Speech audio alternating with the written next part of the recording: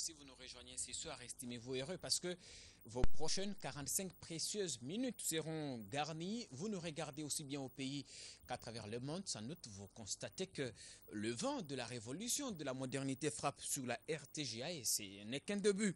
Et donc, euh, les heures des news, votre magazine euh, d'information non-stop de ce soir, on sera euh, politico-sécuritaire. On reviendra ce soir sur cette déclaration qui fait de plus en plus enfler la polémique dans, ici dans la ville haute. La déclaration de, du président de la commission électorale, Corné Nanga, qui voudrait bien solliciter auprès de la Cour constitutionnelle une petite extension qui ne sera pas éternelle, dit-on, pour question de lui permettre de bien organiser les prochaines élections, déclaration qui sans doute est en train de susciter des torrides combats oratoires dans la classe politique. On verra euh, ce qu'il faut faire pour sauver ce qui l'est encore ou ce qui peut l'être encore. Et puis en sécurité, on verra ces conflits intercommunautaires entre Et Nandi au Nord Kivu, conflit euh, qu'il faut le dire aujourd'hui en train de prendre des proportions euh, socialement et médiatiquement exponentielles. Comment faire pour que les deux communautés du Nord Kivu fument le calumet de la paix et euh, trouve un common ground on va en parler ce soir, notamment avec Juvenal Mounoubou euh, Moubi. Il est chargé de relations extérieures au sein euh, de l'UNC. Il est député national élu de Walikale, notabilité du Nord Kivu. Et au niveau de l'Assemblée nationale, vous êtes euh, rapporteur de la sous-commission Forces armées, sous-commission de la commission Défense et Sécurité. Juvenal Mounoubou, bonsoir et bienvenue sur notre plateau. Bonsoir, monsieur Jean-Pierre. Bonsoir à tous les téléspectateurs. Je rappelle à tous que vous êtes notabilité du Nord Kivu. Je voudrais, euh, première question pour vous, savoir ce que vous inspire euh, ces conflits euh, qui, il faut le dire, je, le disais d'ailleurs au début de l'émission, est en train de, prendre de proportions, somme toute, exponentielles. En fait, il faut parler des tensions interethniques. Mmh. Hein, ce n'est pas encore un conflit. On tend vers un conflit parce que... En fait, il mmh. faut agir vite. Hein. ce qui est là est qu'il y a risque effectivement d'escalade entre des communautés ethniques au Nord Kivu et il faudrait se poser la question euh, pourquoi? Et surtout pourquoi cette période? Pourquoi? Parce qu'il ne faut pas oublier qu'on est dans une année électorale et on ne voudrait pas entendre euh, des choses comme ça. C'est la question justement que je voudrais vous poser parce que l'expérience démontre que à chaque processus. Oui, allez-y. Quand il y a un mm. conflit comme ça, mm. on peut toujours émettre des hypothèses. On se dit est-ce que c'est lié à, l'insuffisance de la couverture du territoire par l'État? Parce que la réalité, c'est ça la couverture en termes de contrôle euh, de l'État euh, pose encore problème. C'est de là où on parle du besoin de restaurer l'autorité de l'État. Parce que j'imagine que là où existe euh, l'État, c'est-à-dire l'armée, la police, la justice, je ne crois pas que des groupes armés puissent jouer à l'instrumentalisation. Je ne crois pas qu'il y ait des personnes qui instrumentalisent les autres. Pourquoi Parce que l'État est là pour réguler, pour recadrer. Même si on ne peut pas être derrière euh, chaque individu. Euh, oui, mais quand même, on ne saurait pas imaginer des endroits où il n'y a pas l'armée, il n'y a pas la police, mais il y existe des FDLR, par exemple, ou le groupe Maïmaï, ou le groupe Nyatura. Ça veut donc dire qu'il y a un besoin urgent, réel, de restaurer l'autorité de l'État. Amérique, par exemple, Amérique, par exemple, il n'y a ni FDLR ni ADF. Hmm. Peut-être. Est-ce que c'est lié au pouvoir politique? Est-ce que c'est lié au foncier? Voilà, il y a beaucoup d'hypothèses. Moi, je ne suis pas à mesure aujourd'hui hmm. euh, de vous confirmer ces hypothèses. Il faudrait effectivement que les gouvernements s'y penchent. Il faut que les parlementaires aussi, les parlements se penchent euh, au cours de cette session. Pourquoi? Parce que euh, cela est en train de se développer. Voilà un peu ce que je peux dire. Mais déjà, si le gouvernement restaure l'autorité, son autorité là-bas, parce que les foyers de tension identifiés, c'est vers Miriki, dans le nord-est de Walikal, c'est beaucoup plus vers Meriki, mm. et dans le sud de Lubero. Eh bien, si on y déploie la, présence de l'État, l'armée, des militaires qui viennent là-bas pour sécuriser tout le monde, et pour sécuriser le territoire, des policiers bien équipés, et pas comme euh, les policiers qui étaient à Massy dernièrement. Là, il y a cinq commissariats de la police à Massy, si vous avez suivi, mm. qui ont été contraints de fermer les portes. Pourquoi? Parce que euh, pas assez d'équipement devant la menace des groupes de milices. Donc il faut travailler surtout sur cet angle-là. C'est important. Et vous, revenez de, vos vacances parlementaires. Je, suis sûr que vous avez euh, eu le temps de, prendre langue avec euh, ces, communautés vous-même. de, toutes les hypothèses émises sur ce plateau, laquelle vous semble être beaucoup plus pertinente Le gouvernement estime que ces, tensions sont instrumentalisées par des FDLR. Oui, mais le, gouvernement ne devrait pas dire. Tout ce qu'on demande au gouvernement, c'est de se manifester qu'il existe là-bas. C'est ça. En tant que député national, c'est ce que je demande au gouvernement. Démontrer qu'il existe non seulement à Kinshasa, qu'il existe à Goma, qu'il existe un peu partout. Et la manière de le faire, c'est d'y déployer son autorité, tout simplement. Et ce n'est pas moi qui l'ai dit pour la première fois. Il y a même l'accord cadre d'Addis Abeba qui a été signé. Et, et, comme premier engagement que le gouvernement lui-même a pris, c'est l'engagement de restaurer l'autorité de l'État. Donc c'est là. Moi je crois que si cela est fait, euh, je ne crois pas qu'il y ait des individus plus, plus forts euh, pour diviser le genre, pour commencer un, conflit interethnique. Il faut savoir que cette zone a déjà, conflit, a déjà connu plutôt des conflits interethniques. au début des années 90, je crois en 93, il y a eu un conflit interethnique au Nord Kivu et qui a été dévastateur. Il y a eu des morts. Euh, la zone de Massissi qui était considérée comme une zone verte avec des vaches, euh, euh, eh bien, elle est devenue une zone rouge. Et donc, on devrait tirer des leçons de ce qui s'est passé.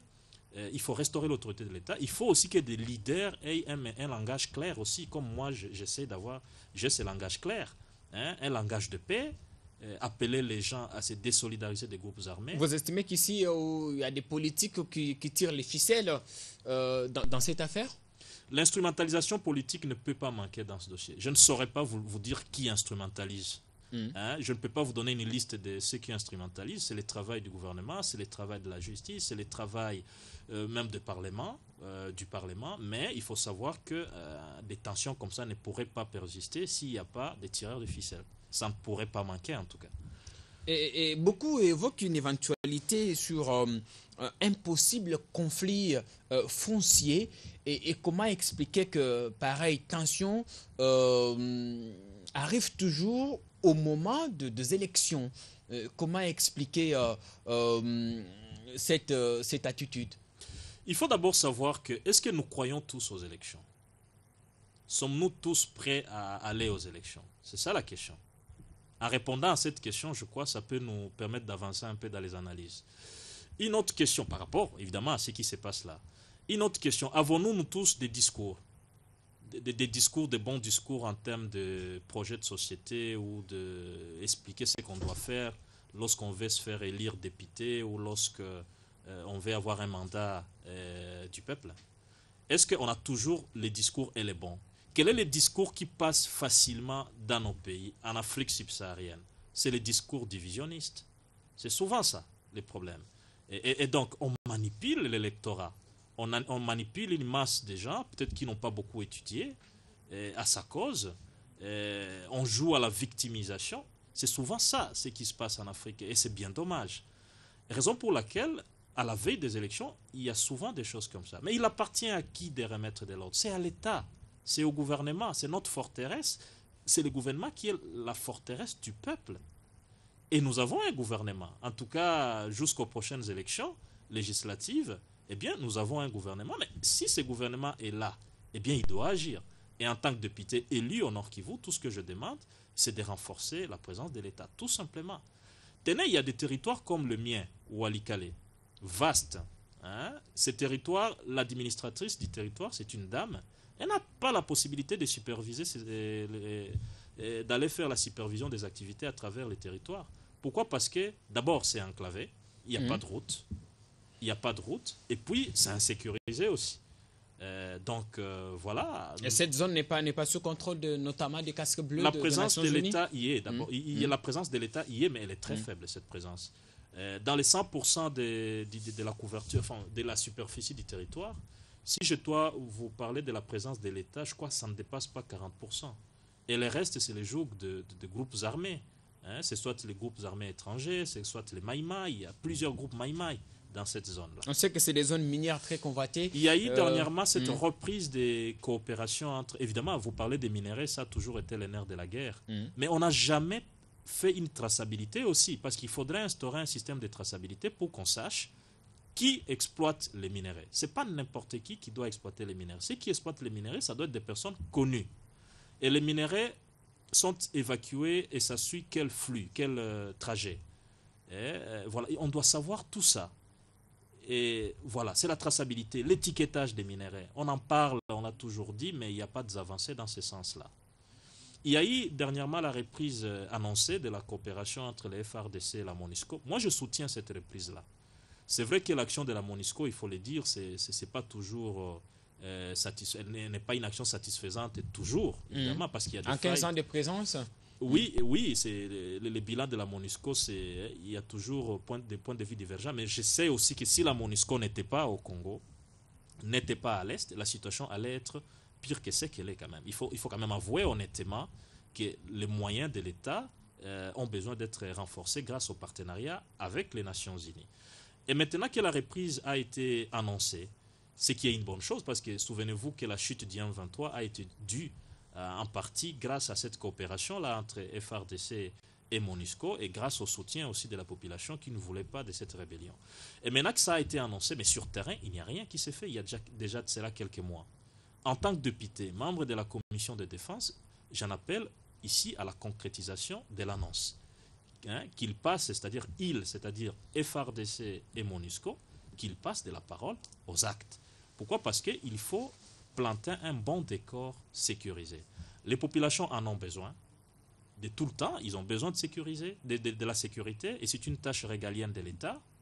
Mais aussi, il faut dire autre chose, on est dans un contexte préélectoral. Et une année électorale, il faut que ça soit une année sécurisée dans des zones comme ça où pilule des groupes armés.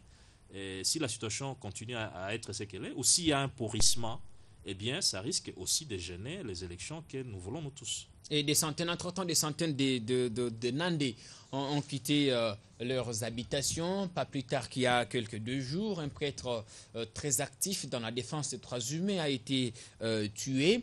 à l'université à Goma hier, c'est l'ULPGL si je m'abuse, qui a été.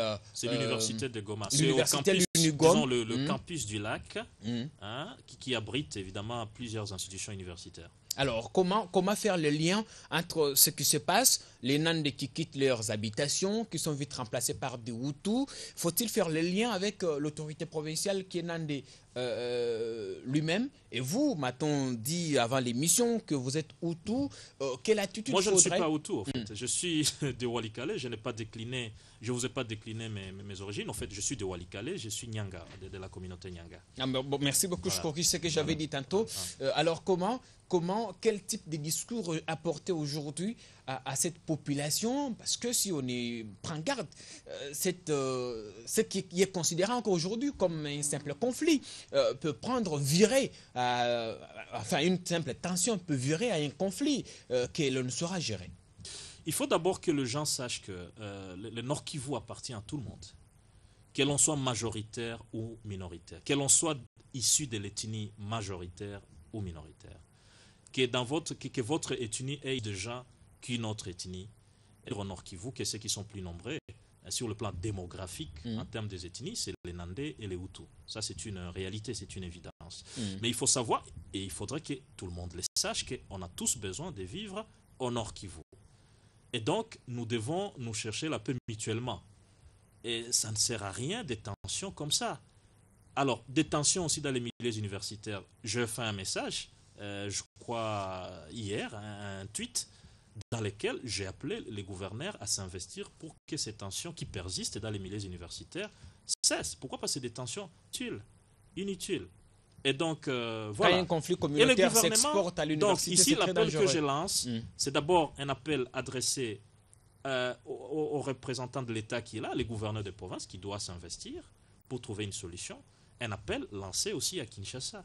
Kinshasa ne devrait pas euh, voir, euh, laisser se développer à ces rythmes-là des, des, foyers de tension. Hein? Donc, euh, même à l'université, c'est un véritable foyer de tension. Mais à la rentrée parlementaire Dans les territoires, c'est des foyers de tension. Mmh, dans des zones comme Miriki, mmh. sud de Loubert, donc nord-est de Walikale, c'est des foyers de tension. Et il faut éteindre ces faits qui est en train de, de s'allumer. Lors de la rentrée parlementaire, vous avez estimé que la question de la sécurité au Nord Kivu devait être parmi, figurer parmi les priorités euh, de cette session de mars, que l'on considère être beaucoup plus politique et électorale. Qu'est-ce que vous attendez du Parlement exactement? Oui, j'attends du Parlement euh, qu'il se focalise sur la question de financement des élections. Vous savez, on a besoin de près d'un milliard de, dollars euh, pour financer les élections. Il y a plusieurs élections. D'ailleurs, on n'a jamais, on n'a pas encore levé les options sur quel type d'élection il faudra il faudra organiser. Je, conseille, et ça c'est le point de vue aussi de mon parti politique, Vital Caméré est d'avis avec moi, c'est l'UNC, nous conseillons à ce qu'on mette les curseurs sur l'élection présidentielle et les législatives. Pourquoi? Parce qu'il y a une contrainte constitutionnelle euh, qu'il faudra impérativement respecter, c'est que le président en fonction est en train de, bientôt, il finit son deuxième et dernier mandat, et il faut éviter un vide juridique à la tête de l'État il faut l'élection des députés nationaux sans lesquels on n'aura pas un gouvernement. Et le juridique à la majorité, on dit que l'article 70 a, tout réglé, que le président, à la fin de son mandat, il reste en fonction jusqu'à l'élection, jusqu'à l'installation effective du président, élu. Mais il faut que mm. ce président ait été élu. C'est ça, mais si ce président n'a pas été élu, est-ce qu'il resterait jusqu'à l'installation du président Il n'y a pas risque de tomber dans, dans, l'article 75 euh, ou peut-être encore 76. Oui, pas le débat là, du jour. On n'est pas, on mm. pas là, en tout mm. cas, et moi je mm. ne le souhaite pas. je souhaite que les choses se débloquent le plus rapidement possible.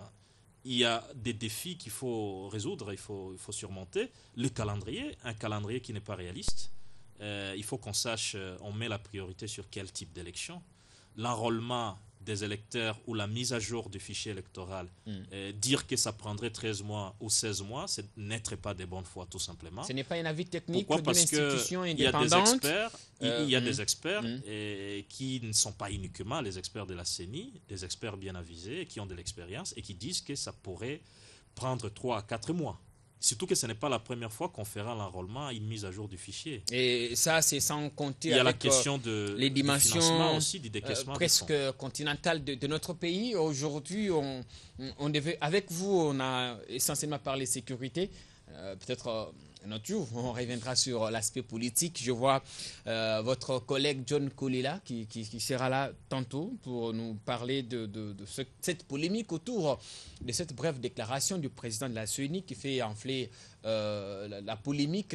mais quand même, ça peut, quand même vous, inspirer. Oui, je voudrais dire ceci sur ces plateaux. je voudrais dire ceci que le, une telle saisine serait dans les circonstances actuelles, ça serait une saisine anticonstitutionnelle. Parce qu'il n'y a aucune base constitutionnelle, aucun article de la Constitution qui autorise ou qui, oui, qui donne autorisation à la CENI de saisir la Cour constitutionnelle actuellement. Dans quel cas la CENI, la Commission électorale, pourrait saisir la Cour constitutionnelle? C'est dans l'hypothèse de l'article 76 in fine de la Constitution. Et pour qu'on y arrive, qu'est-ce qu'il faut? Il faut qu'il y ait d'abord vacances déclarées, vacances du pouvoir. C'est-à-dire que si le gouvernement constate qu'il y a vacances du pouvoir ou empêchement définitif, les gouvernements contactent ou consultent la Cour constitutionnelle. La Cour constitutionnelle déclare la vacance. Le président du Sénat assure l'intérim. J'explique la loi, en fait. Je ne dis pas que c'est ce qui, c'est ce qui arrive mmh. demain. J'explique la loi. Le président du Sénat assure l'intérim. L'élection la CENI doit organiser l'élection 60 jours au moins, 90 jours au plus. S'il y a une force majeure, là on est ah, dans les cas de la ligne 4. 120 jours. S'il y a une force majeure, une rallonge mhm. peut être accordée jusqu'à 120 jours. Ça, c'est à ce niveau-là que la CENI peut demander la rallonge à la Cour constitutionnelle. Mais on n'est pas là. On n'est pas là. Ou peut-être dans la tête de la CENI ou, et de son président, Peut-être que lui, il pense peut-être qu'on est dans un cas déjà similaire des vacances du pouvoir. Je ne le pense pas. Et donc, euh, une telle démarche, c'est vrai, il est embarrassé, évidemment, mais il ne devrait pas être embarrassé comme ça. Aujourd'hui, vous êtes partisan. Ce qui devrait être l'attitude de la CENI, ça devait être laquelle? L'attitude de la CENI, ça devait être de demander l'argent au gouvernement. Nous, députés, nous, votons, chaque année. Hmm. Chaque année, nous avons voté un budget pour les élections. Chaque année. Où est parti l'argent? Hein? Il y a des dépenses que l'État effectue maintenant. L'achat des véhicules anti-émettes, qu'on essaie un peu de déployer un peu partout à travers le pays. Vous voyez? Il y a d'autres euh, choses, de, dépenses qui sont en train d'être effectuées. Hein? On ne dira pas, et on ne le dira pas continuellement qu'il n'y a pas l'argent. Nous, reviendrons avec vous euh, très Donc ça devrait être ça la mmh. démarche de la mmh. CENI. Mmh. Et une autre démarche de la CENI, ça devrait être cette CENI qui a déjà reçu même nos propositions à nous par rapport à ce que nous souhaitons avoir comme calendrier, qui a les points de vue de la majorité de l'opposition et de la société civile, cette CENI, ce qu'elle devrait faire, c'est de nous amener à une synthèse, à un consensus, à travers une réunion, une tripartite, qui statuerait sur toutes ces questions préalables qui restent à régler pour qu'on aille aux élections. Alors, Mais la euh, CENI qui attend les dialogues, un éventuel dialogue dont on ne sait pas si elle- il aura lié, eh bien c'est une, c'est une CENI qui n'est pas en train de nous faire avancer tout simplement. On sait que plus d'une fois, la même CENI a publié des calendriers électoraux qui ont été vite euh, récusés par toujours euh, vous, de, de l'opposition, vous qui êtes partisans Mais aujourd'hui. si la de la les avait publiés, des mais, mais si élections, la CENI les avait euh, publiés sans consultation nécessaire, c'est un, un vice de Mais procédure. Aujourd'hui, on demande à la classe politique de se mettre autour d'une table et trouver Mais qui un dit que consensus. le cadre de consultation ou de concertation, ça ne doit être que le dialogue euh, convoqué Hein? C'est ça le problème. Nous ne voulons pas suivre un schéma comme ce qui s'est passé de l'autre Parce côté que du certaines questions dépassent le cadre euh, technique au niveau de la commission électorale et voteraient des options beaucoup plus politiques. Le problème, c'est quoi? Vous ne pouvez pas entrer dans Mm. une assise politique comme Mm. celle-là euh, lorsqu'il y a des doutes. Lorsqu'il y a des doutes, il n'y a pas suffisamment de garanties. Pourquoi des, des annonces ne sont pas faites de manière claire que la Constitution ne sera pas violée? Des- Pourquoi des annonces ne sont pas faites de manière claire que l'article 220 de la Constitution et d'autres articles de la Constitution liés au nombre et à la durée des mandats du président de la République seront respectés? Pourquoi vous voulez des annonces Pourquoi- alors que la pourquoi- Constitution elle-même a déjà réglé pour- le pourquoi les problème? prisonniers politiques et les, et les jeunes des mouvements citoyens ne sont pas libérés? On a besoin de ces annonces, signes de bonne volonté et qui pourraient rassurer les uns les autres. Merci, merci beaucoup. Je crois que ça va être votre dernier mot, Juvenal. Je rappelle à tous que vous êtes député national, euh, chargé de relations extérieures au niveau de l'UNC, le parti de Vital Caméré. Et à l'Assemblée nationale, vous, êtes rapporteur de la sous-commission Forces armées, sous-commission de la commission défense et sécurité. Merci beaucoup de passer ce soir à décrypter avec nous euh, cette insécurité, euh, ces tensions interethniques entre Hutu et Nandé au Nord Kivu. Je rappelle également que vous êtes euh, député élu du territoire de Walikale. Merci beaucoup d'être passé et nos portes restent ouvertes. Revenez à toute heure. Je vous remercie. Merci beaucoup. On va marquer une toute petite pause. Le temps pour nous de prendre le député John Kolela qui Bien-aimés dans le Seigneur, shalom. Nous vous revenons encore, toujours dans le même cadre de la célébration Pâques. Célébrons la Pâque. Célébration Pâques. célébration Pâques 2016 rendez-vous eza déjà pris te biso nyonso le 3 avril 2016 na parking à grand hôtel à partir ya 15 heures. Mwana nzambe nyonso ayebi ete lobiko na ye efandisama na oyo yesu asala ayebi ke na rdc na kinshasa toselebraka pâke liwa ya yesu ndenge amipesa lisekwa na ye mpo na biso. Yamba leo kozala le 3 avril na parking ya grand hôtel. Tokozala awa. Tokozala awa na parking ya Grand Hôtel, comme vous le constatez. tozala biso moko te toza bandeko ebele oyo tokoyemba na bango elongo frère na biso mike kalambai pasteur atoms frère michel bakenda mama gode bondembe frère benjamin frère henri papa ndeko na bino frank mpe code d'adoration mobimba. Le 3 avril biso nyonso tokutani na parking ya grand hôtel mpona koeleve trône. Ya yesu masiya la fête est au rendez-vous le 3 avril 2016 15h parking ya grand hôtel que dieu nous bénisse Tu es trop belle. C'est quoi ton secret? Moi, mon secret, c'est X-Spread. Facile à séparer, facile à tisser, souple et capable d'être tissé dans plusieurs modèles. Gros bébé, écaille, rasta, cordelette. X-Spread est une mèche originale à un prix abordable pour tous. Et toi, ma chérie, tu es très belle aussi. C'est quoi ton secret Nga, secret nanga, bébé olive. Pepele na mutu, moins cher. okoki okangela yango midele nyonso ekai cordelette rasta kitoko makasi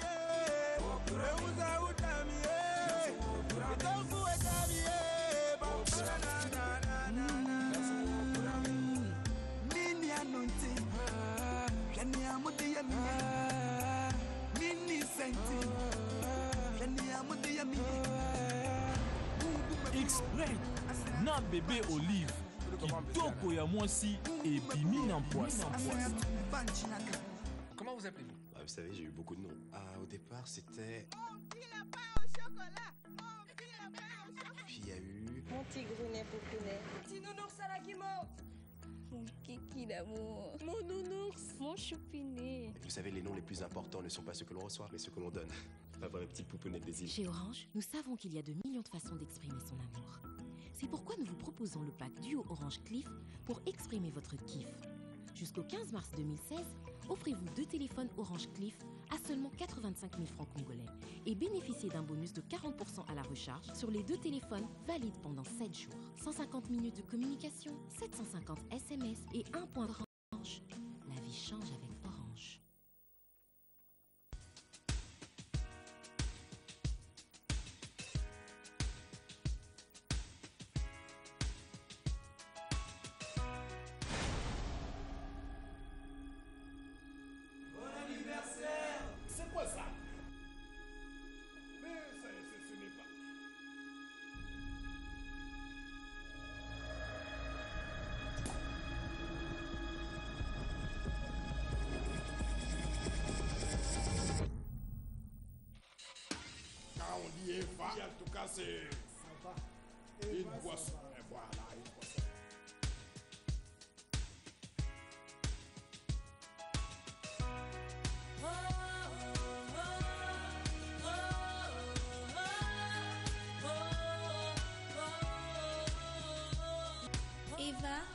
boisson pur fruit, réservée à tout le monde.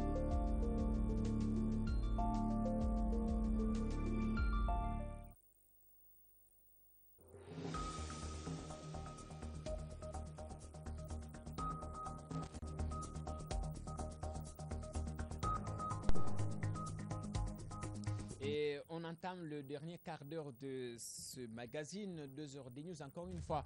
Et bienvenue si vous nous rejoignez. Des feedbacks ce soir qui nous viennent de partout. Salutations spéciales aux téléspectateurs euh, qui, nous regardent euh, partout à travers le monde, notamment euh, depuis les États-Unis d'Amérique. On va passer au deuxième sujet de ce soir avec John Kolela, député national, élu de l'ICASI, l'ICASI dans ce qui est devenu aujourd'hui le Haut-Katanga, élu pour les comptes élu de PES. Tu sais dit bonsoir, bienvenue. Bonsoir Jean-Pierre et merci. Merci encore une fois d'être venu sur notre plateau et ce soir avec vous, on va rapidement parler de, de cette saisine euh, qui, fait, euh, qui suscite euh, des torrides combats oratoires dans la classe politique. Comme votre prédécesseur de tout à l'heure, le député de l'UNC, Juvenal Mounoubo, vous êtes également partisan de la tenue précipitée des élections en dépit de toutes les contraintes relevées par la commission électorale. Non, ce n'est pas la tenue précipitée, mais la tenue dans le temps normal, dans le temps nécessaire indiqué par la Constitution. Peut-être que ce sont les autres qui veulent le tenir en retard. Le souhaiter en temps utile, le temps indiqué par la Constitution, je pense que ce n'est pas la volonté seulement de l'opposition INC comme UDPS, mais c'est la volonté du constituant, c'est la volonté du peuple congolais parce qu'à travers la question référendaire, elle en a décidé ainsi. Alors il ne faut pas nous mettre sous la tête cette responsabilité parce que nous sommes tous co-responsables et la République ne sera pas dirigée selon la volonté d'un individu ou d'un groupe de gens, Mais si vous êtes selon co- la volonté de toute la population. Si vous êtes co-res- co-responsable, vous auriez dû accepter le chemin parce que c'est vous qui avez sollicité en son temps la révision du fichier électoral, qui avez estimé que le fichier était corrompu. C'est vous qui avez souhaité l'enrôlement des nouveaux majeurs. Aujourd'hui, on les estime entre euh, 6 à 8, mi- 8 millions. Le- le- les Congolais de la diaspora, c'est vous. Et face à toutes ces contraintes, l'acheminement aussi des kits électoraux, vous ne trouvez pas que le temps imparti est euh, légèrement court, largement court euh, pour faire toutes ces opérations et qu'il faut une rallonge Je ne crois pas. C'est pourquoi je dis que nous devrons être responsables de nos choix. Ce n'est pas l'opposition qui cherche à ce qu'on enrôle le nouveau majeur. C'est la Constitution qui oblige la CENI à mettre à jour régulièrement ses fichiers et que chaque citoyen âgé d'au moins 18 ans doit voter ses propres dirigeants. Rappeler la responsabilité constitutionnelle à la CENI pour qu'elle l'applique, cela n'est pas une responsabilité de l'opposition, mais c'est la responsabilité encore une fois de plus de la Constitution. La volonté du président de la CENI de vouloir faire cette saisine au niveau de la Cour constitutionnelle, Mhm. ça sera une véritable aberration ou voire même un sacrilège. Pourquoi je dis cela? La Cour constitutionnelle n'est pas une institution de fabrication de nouvelles lois. La Cour constitutionnelle n'est pas une institution d'autorisation à violer la Constitution. Ce que la, la CENI est en train de vouloir faire, c'est-à-dire en d'autres termes, en français facile, elle cherche à demander à la Cour constitutionnelle l'autorisation de violer la loi et de déverrouiller l'article 220. C'est ce que ça veut dire. Or, nous tous, nous sommes conscients, moi et vous, à moins que le président de la CENI soit distrait, qu'on ne peut pas déverrouiller l'article 220, même pas par une constitution. On ne peut pas permettre à ce qu'on puisse aller au-delà du mandat du chef de l'État parce que la constitution est claire et précise. On n'a pas dit que la durée du mandat du chef de l'État, c'est de 5 ans et une seconde. Non. On n'a pas dit c'est 5 ans et 10 jours. Non. Et On que a dire, c'est et cinq que ans. dire de l'article 70 de la même constitution? Je posais la même question à votre collègue euh, tout à l'heure. Oui, l'article 70 doit être compris par tout le monde de la même manière. C'est au cas où il y a un nouveau président élu. Parce qu'il y a à ce niveau-là deux présidents élus. Un nouvellement élu en attendant la remise reprise pour entrer en fonction, l'autre anciennement élu en attendant la remise remise pour partir. Durant cette période de deux présidents élus, il ne fallait pas entretenir le conflit de pouvoir pour prendre des décisions. Alors, le législateur a choisi un d'entre les deux de continuer à assumer les affaires de sorte que, après, quand il y aura remise reprise, il n'en restera qu'un seul. Alors, nous ne pouvons pas comprendre l'article 70 à tort pour dire que non, le président reste jusqu'à l'éternité au cas où l'élection n'est pas convoquée. Donc, et la Constitution ne doit pas être lue les articles de manière sélective, séparés les uns les autres. Les articles sont à lire de manière cohérente dans son ensemble et dans un contexte. C'est-à-dire, dans un pays qui s'appelle République démocratique du Congo, où le mandat du chef de l'État est de 5 ans renouvelable une seule fois, il reste en fonction en attendant que l'autre entre en fonction. Donc, si vous lisez ces articles-là de manière séparée les uns les autres, vous risquez de ne pas avoir la bonne compréhension. Mais face à l'impasse, mettre. face à l'impasse, euh, le processus électoral est dans une sorte de crise ambiante. Euh, honorable John Kolela, comment faire aujourd'hui pour sauver ce qui peut l'être encore Ou vous pensez qu'il faut euh, que le pays se plonge dans les chaos et que vous, l'opposition, vous puissiez ramasser le pouvoir dans la rue? Je ne crois pas. Celui qui cherche que le pays reste dans les chaos, c'est la majorité et son chef, non pas l'opposition. Parce qu'il ne faut pas condamner ceux-là qui vous demandent de respecter la Constitution tout simplement. Qu'est-ce que nous voulons? Nous voulons simplement le respect de la Constitution. Est-ce qu'aujourd'hui, il y a Organiser crise? les élections, peu importe les conditions, peu importe les préalables. C'est là où Euh, j'arrive mm. parce que les conditions dans lesquelles nous sommes aujourd'hui, ce sont les conditions, c'est une crise artificielle créée volontairement par ceux-là qui sont au pouvoir pour qu'ils puissent rallonger leur mandat tout simplement. Mais c'est vous qui avez Parce que- récusé le calendrier global général publié par arrive. le calendrier partiel L'opposition n'a jamais récusé le calendrier global. L'opposition a émis le point de vue pour corriger le calendrier global parce qu'il était inconcevable qu'on organise environ 13 élections dans 15 mois. C'est-à-dire, en moyenne, une élection par mois, c'était inconcevable. La, raison en est que lorsqu'on a convoqué l'électorat pour la députation provinciale, la CENI elle-même, parce qu'elle ne nous avait pas suivis, elle a été même bloquée ce n'est pas l'opposition qui est allée arrêter la CENI pour qu'elle ne puisse pas organiser l'élection de, députés provinciaux aujourd'hui. Donc la responsabilité n'est pas à chercher au niveau de l'opposition. Tout ce que l'opposition est en train de faire, c'est demander au gouvernement et à la CENI de respecter la Constitution. En 2006, on est passé aux élections sans problème. En 2011, on n'a pas attendu le dialogue. Et aujourd'hui, le dialogue n'est pas une impérative plutôt une impérative constitutionnelle pour qu'on s'y attarde. Chaque institution doit faire tout simplement son travail correctement dans le respect de la Constitution. Oui, vous avez raison de dire qu'il reste peu de temps et qu'il y a le problème. Si on veut organiser toutes les élections de la base au sommet, il est vrai que par le temps qui reste, ça serait- peut-être impossible. Mais si nous nous focalisions sur une élection que je ne dis pas importante par rapport aux autres, mais prioritaire de par la volonté de la Constitution par rapport au temps qui nous reste, moi je pense qu'une élection c'est possible. C'est possible, mais Corneille Nanga émet une hypothèse. Il dit euh, que c'est possible, mais avec le fichier électoral actuel, que tout le monde a qualifié de corrompu, euh, de, de foutu, ce fichier électoral, avec euh, près de 2 millions de, de- de décès. et- La CENI est en train de jouer le rôle de bras séculier de pouvoir. Parce que ce n'est pas aujourd'hui que l'opposition a rappelé à la CENI qu'il fallait enrôler le nouveau majeur. Nous posons des questions comme si c'est aujourd'hui même, sur ce plateau, que le problème est posé, alors que c'est depuis 2013 que nous sommes dans ce schéma-là. Tout ce temps-là, que faisait la CENI la CNI le savait de par la Constitution qu'il faut enrôler les gens. Ce n'était pas attendre que l'opposition puisse les rappeler parce que dans l'humanité tout entière, dans tout le pays du monde entier, on sait qu'après telle période, il y a une élection et chaque institution fait son travail. Le cas le plus récent, c'est l'OIF. Depuis quand est-ce que l'OIF a fait ces rapports-là pour confirmer que les fichiers étaient réellement corrompus et qu'il fallait faire aussitôt? Depuis la période où l'OIF a fait ces rapports, quel est le travail qu'a fait la CNI dans le sens de vouloir corriger ce qui devrait être corrigé? Elle a pris le temps de renouveler les kits euh, qui, posaient aussi problème, euh, la logistique euh, qui n'était pas en place, il fallait commander, c'est tout ce temps que, ça peut prendre. Alors, honorable John Kolela, on a assez parlé problème. Moi, je crois qu'il faut aujourd'hui parler de solutions. Vous, de la classe politique, vous regardez en face et dire nous devons sauver la République qui aujourd'hui euh, court un danger. Trouver une solution concertée entre vous, de la classe politique, et permettre à ce que le Congolais euh, continue à vivre dans, dans, dans, dans sa quiétude totale. Euh, Jean-Pierre, vous êtes d'accord avec moi que toute l'opposition dans son ensemble était la première à réclamer ce dialogue-là? Nous, UDPS, INC, nous avons fait une plateforme où nous étions ensemble. La CVD. Dans ces pays, nous avions fait des marches réclamant le dialogue. Dans ces pays, nous avons fait des meetings à l'issue desquels l'honorable Ewanga a fait une année de prison. Quelle a été la réponse du gouvernement en face lorsque le temps était encore utile pour cela? Nous étions en 2013-2014. Et aujourd'hui, vous voulez nous faire croire que c'est le gouvernement, c'est la majorité qui réfléchit pour le bonheur de ces pays? Lorsque nous nous réclamions ce dialogue-là à corps et à cri, nous n'avions pas raison de le faire? Et aujourd'hui, par rapport au temps qui nous reste, nous disons que nous ne devons pas prendre le peuple congolais en otage pour faire notre volonté à nous politiques. Il y a une constitution. Le véritable dialogue, c'est la constitution où chaque citoyen congolais s'est exprimé avec sa propre voix, pas par l'intermédiaire d'un représentant. Lui-même, chaque citoyen pris individuellement, est allé voter la constitution. Et vous cherchez la solution, elle est déjà là devant nous. La solution, c'est le respect de la constitution, point barre. Respectons ce qui est dit, même s'il y a dialogue rien ne prouve que c'est le dialogue qui est la solution à ces problèmes.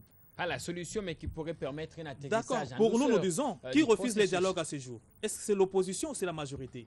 Nous disons que faisons les dialogues qui respectent la Constitution. C'est le pouvoir qui refuse les dialogues qui respectent les prescrits de la Constitution. Voilà là où ça bloque. Ce n'est pas à l'opposition qu'il faut poser encore cette question, mais poser la question à la majorité pour dire pourquoi vous refusez les dialogues qui respectent les prescrits de la Constitution. Ça va être pratiquement votre euh, dernier mot, à moins que vous ayez autre chose rapidement à ajouter, un message à la classe politique qui vous regarde ce soir sur euh, nos antennes.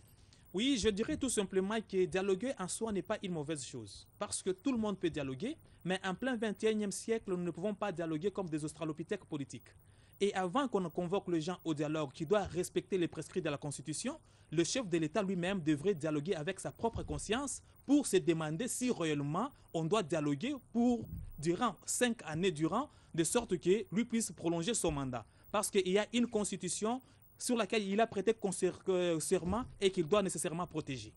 Merci beaucoup. Le message est passé et je crois bien que um, ce dialogue finira par uh, se tenir et que euh, le consensus sera levé pour un atterrissage en douceur du processus électoral. John Kolela, merci beaucoup et je rappelle que vous êtes député national euh, UDPS élu de l'ICASI dans l'actuel au Katanga. Merci beaucoup de nous avoir euh, honorés par votre présence sur ce plateau. Merci Jean-Pierre.